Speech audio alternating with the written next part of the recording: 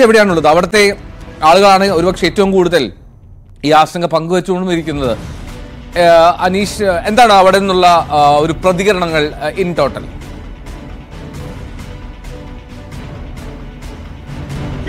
ആ എൽദോ ഞാനിപ്പോൾ വള്ളക്കടവ് ചപ്പാത്ത് എന്ന ഭാഗത്തു നിന്നും ആണ്. അതായത് വള്ളക്കടവിൽ നിന്നും ഏതാണ്ട് ഒരു കിലോമീറ്റർ താഴെയുള്ള സ്ഥലമാണ്. ഇവിടെയാണ് ആ, മുല്ലപ്പെരിയാർ അണക്കെട്ട് തുറന്നു വിടുമ്പോൾ ചപ്പാത്തിൽ നാൽപ്പത് മിനിറ്റ് കൊണ്ട് എത്തുന്ന വെള്ളം അഞ്ച് മിനിറ്റിനുള്ളിൽ എത്തുന്ന ഒരു സ്ഥലം ഈ വള്ളക്കടവ് ചപ്പാത്ത് മേഖലയിലേക്കാണ്. വളരെ വീതിയേറിയ പാർക്കെട്ടുകളൊക്കെ നിറഞ്ഞ ഒരു ആറാണ് നമുക്കിവിടെ കാണാൻ കഴിയുന്നത്. പക്ഷേ അണക്കെട്ട് തുറക്കുമ്പോൾ ഈ ഭാവമൊന്നും ആയിരിക്കില്ല.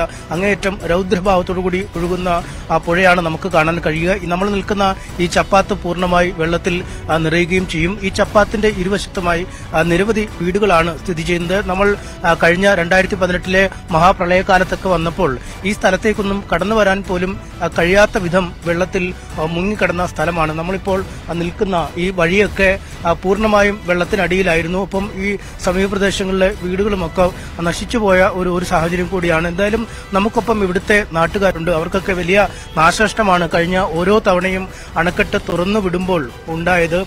അവർക്ക് വലിയ നഷ്ടങ്ങളാണ് ഓരോ സമയത്തും അണക്കെട്ട് തുറന്നുവിടുമ്പോൾ ഉണ്ടാവുന്നത്. ഇനിയിപ്പോൾ ഈ അണക്കെട്ടിന്റെ ഒരു ബലത്തെ പറ്റിയുള്ള ആശങ്കകളൊക്കെ ഉയരുമ്പോൾ കേവലം അണക്കെട്ട് തുറന്നുവിടുമ്പോൾ പോലും അവർക്ക് ഇത്രയധികം ദുരിതങ്ങൾ നേരിടേണ്ടി വന്നിട്ടുണ്ട്. നമുക്കിപ്പോൾ ഉള്ളത് ഈ ഇതിനോട് ചേർന്ന് തന്നെയുള്ള വീടുള്ള സുഭാഷൻ ചേട്ടനാണ്. നമ്മൾ ഓരോ ഈ അണക്കെട്ട് തുറക്കുമ്പോഴും അദ്ദേഹത്തിന്റെ വീട്ടിലെത്തുകയും അദ്ദേഹത്തിന്റെ ബൈറ്റുകളൊക്കെ എടുക്കുകയും ചെയ്യും കഴിഞ്ഞ രണ്ടായിരത്തി പതിനെട്ടിൽ വന്നപ്പോൾ സമാനതകളില്ലാത്ത രീതിയിലാണ് വെള്ളം ഇപ്പോഴും വീടൊക്കെ പൊട്ടിയ അവസ്ഥയിലാണ് ഉള്ളത്.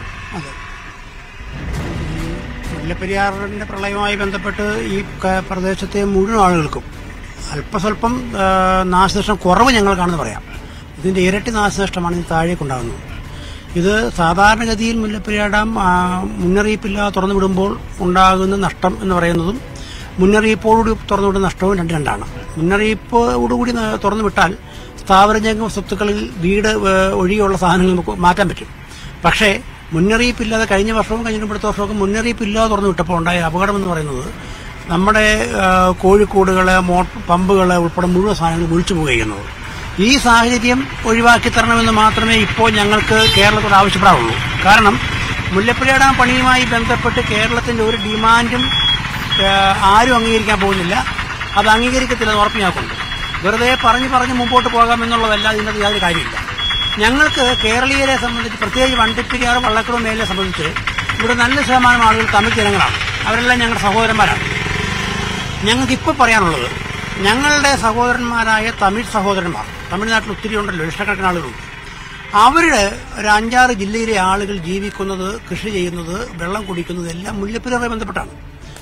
ഞങ്ങൾ ഈ ഡാം നാളെ അങ്ങ് പൊട്ടിപ്പോയാൽ ഞങ്ങൾ ഒറ്റ ദിവസം കൊണ്ട് ഞങ്ങളുടെ എല്ലാ പരിപാടിയും തീരും. ഞങ്ങൾക്ക് യാതൊരു ആശങ്കയും പിന്നിടത്തില്ല പക്ഷേ തമിഴ്നാടിനെ സംബന്ധിച്ച് സ്ഥിതി അതല്ല മുല്ലപ്പെരിയാർ ഡാം പൊട്ടിയാൽ ആറ് ജില്ലകൾ കരിഞ്ഞ് ഉണങ്ങി വരണ്ടു പോകും. അവർ വെള്ളം കുടിക്കാതെ ഒരു മനുഷ്യൻ മരിക്കുന്നതിനൊക്കെ ആലോചിച്ച് നോക്കിയേ. അത് വളരെ ദയനീയമായിരിക്കും. വെള്ളം കുടിച്ചയാൾ മരിച്ചു ഒറ്റ ദിവസം കൊണ്ട് മരിക്കുന്നു. ഓക്കെ അതോടെ തീരുകയാണ്.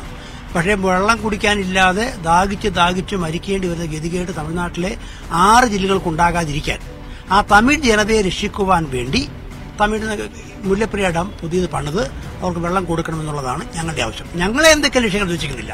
ഞങ്ങൾ രക്ഷിക്കാൻ അവർ അവർക്ക് താല്പര്യമില്ല.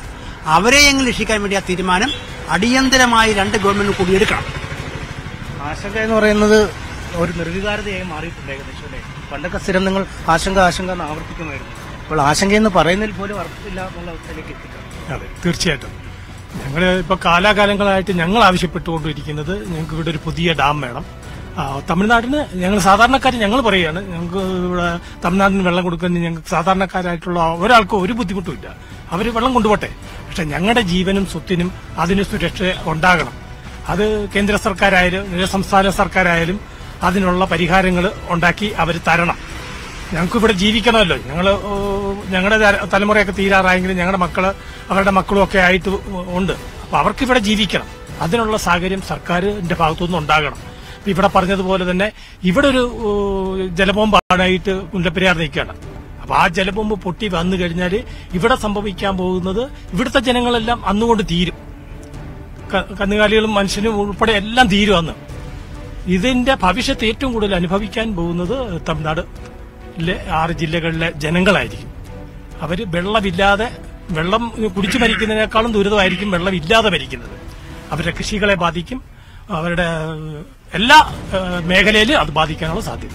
നൊടിയുടെ കൊണ്ടെല്ലാം കഴിയും. ഈ പ്രവചനങ്ങളൊക്കെ പലതും വരുന്നെങ്കിലും അത് ഇതുവരെ നടന്നില്ല. പക്ഷേ അങ്ങനെ ഒരു കാര്യം നടക്കില്ല അല്ലെങ്കിൽ ഭാവിയിൽ പോലും പ്രതീക്ഷിക്കാൻ കഴിയില്ല എന്ന് പറയാൻ പറ്റുമോ തീർച്ചയായും. ഇപ്പോഴത്തെ ഇപ്പൊ പോകുന്ന അനുസരിച്ച് അതിനെ പറയാൻ പറ്റുള്ളൂ. കാരണം ഈ ഡാം തൊള്ളായിരത്തി തൊണ്ണൂറ്റി ഒൻപത് വർഷത്തേക്ക് എഗ്രിമെന്റ് ചെയ്തിരിക്കുന്നു എന്ന് പറയുന്നു.